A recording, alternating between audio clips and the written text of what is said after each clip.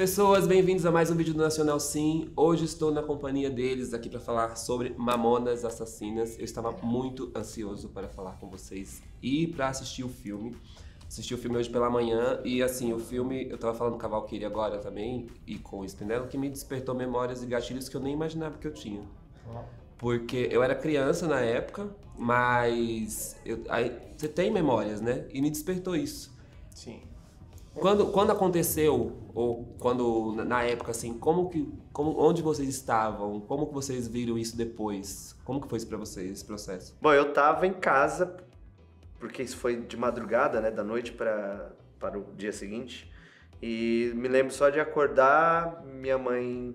Agora não me lembro se minha mãe comentou, quem foi que comentou, eu, é que eu tenho só a vaga lembrança de eu sentado no sofá, assistindo o Gugu lá com dando a notícia. E exatamente o mesmo programa que eles estavam todos os domingos e calha deles estarem lá por um outro motivo que é o motivo que ninguém gostaria.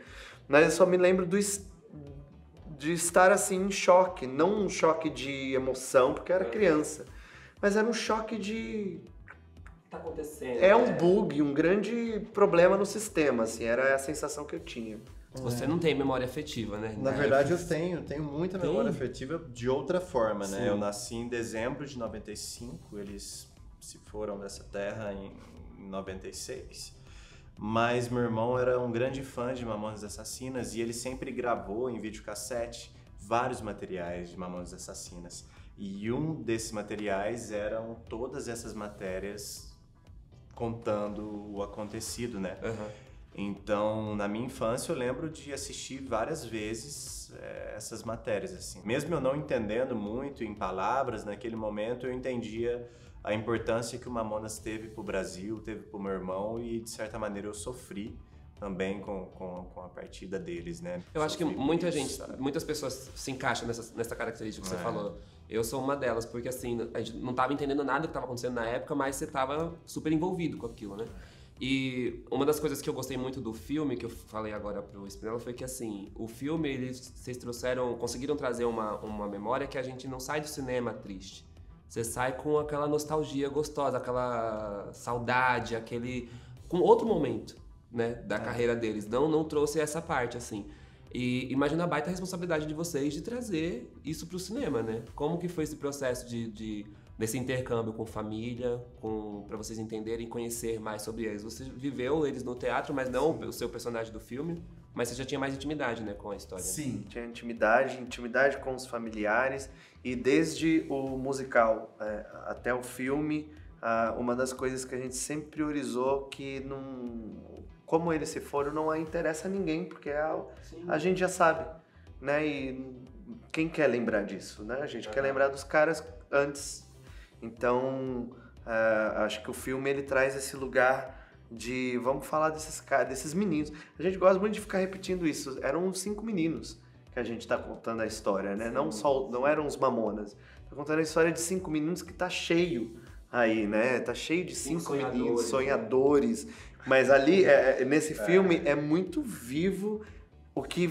Aí eu posso dizer com propriedade por ter vivido essa época, que era um dos. Parecia que era assim, ó, você ficava pré-adolescente e você queria ter uma banda Sim. né? É automático e já se reunir na- no fundo da garagem com um balde e tocar.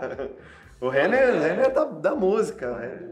Me encontro Mas você tinha esse sonho? Você é dessa geração desse sonho de ter? Super, super. Eu sou músico, né? Sim, mas você viveu essa parte que te engatilhou na adolescência, com a banda. Uhum, eu tenho bandas desde os meus 12 anos de idade e vivi muito isso, assim, de ir pra garagem, juntar os amigos que nem tocavam, mas eu falava, mano, vamos tocar. Tá Meu vendo, gente? sonho é Você que ser tá em casa, sai do TikTok, vai fazer isso, vai viver, porque eu acho que é essa memória que as pessoas precisam ter, né? É, Sim. De resgatar isso. Que momento que vocês sentiram, assim, que vocês tiveram a pra, pra viver isso?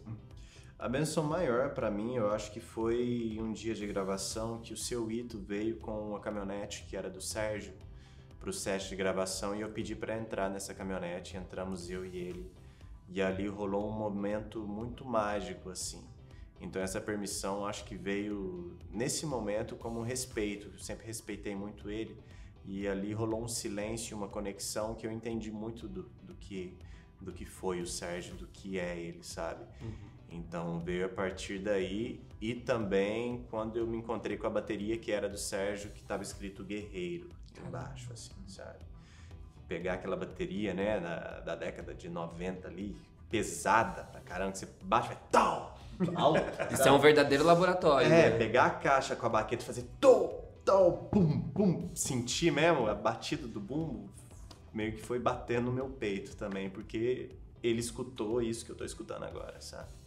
É, eu acho que eu acho que eu trago já desde 2016 do musical essa essa benção, porque estava comentando com o Henrique, acho que um- uma coisa que eu entendo que o que a gente está fazendo nesses projetos é uma extensão, assim, é como se eles pegassem e nos escolheram, tipo, os caras escolheram a gente para continuar o, o- que eles pararam, assim, não, não acho que a gente está resgatando o Mamonas, a gente está continuando O Mamonas. deles, né? É. Continuando a história. Então acho que é, essa benção ela vem desde 2016, quando eles entenderam, pô, vamos, vamos aproveitar essa galera que tá afim de homenagear a gente para continuar essa alegria.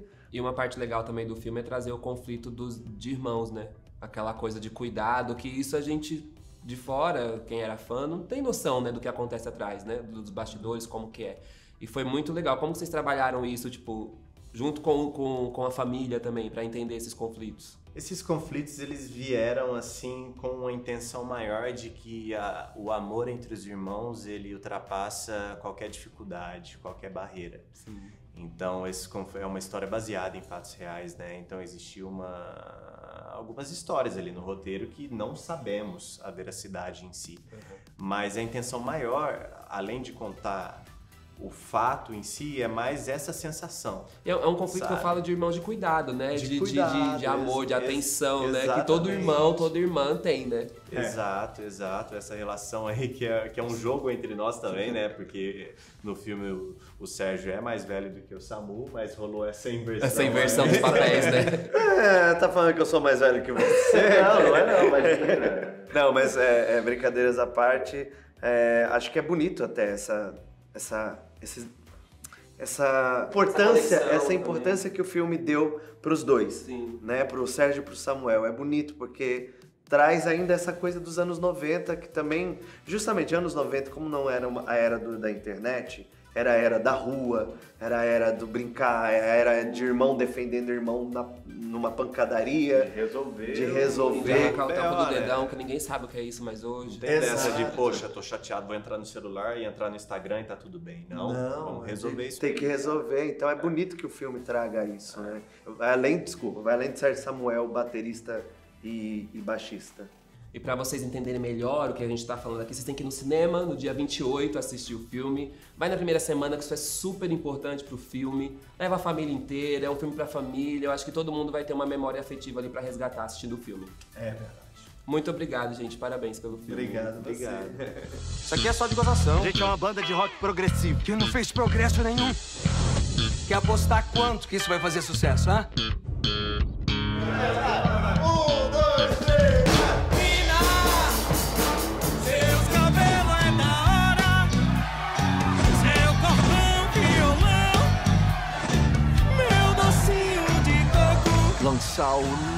Fenômeno musical Mamonas Assassinas! Sabia que você ia brilhar. Você nunca quis uma estrela só, você sempre quis o céu inteiro. Você é a mulher mais linda que eu já vi.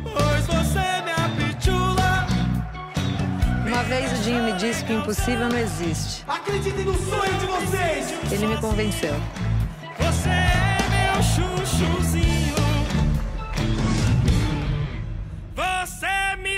Você me deixa doidão.